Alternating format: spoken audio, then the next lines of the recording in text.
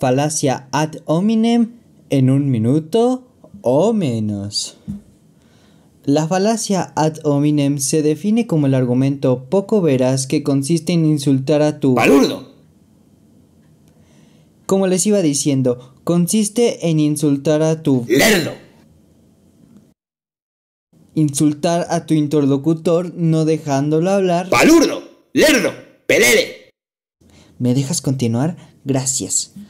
No dejándolo hablar y evidentemente acudiendo a sus defectos físicos y psicolo... ¡Psicofanta! Suficiente. Me largo de aquí. ¡Palurdo! ¡Palurdo!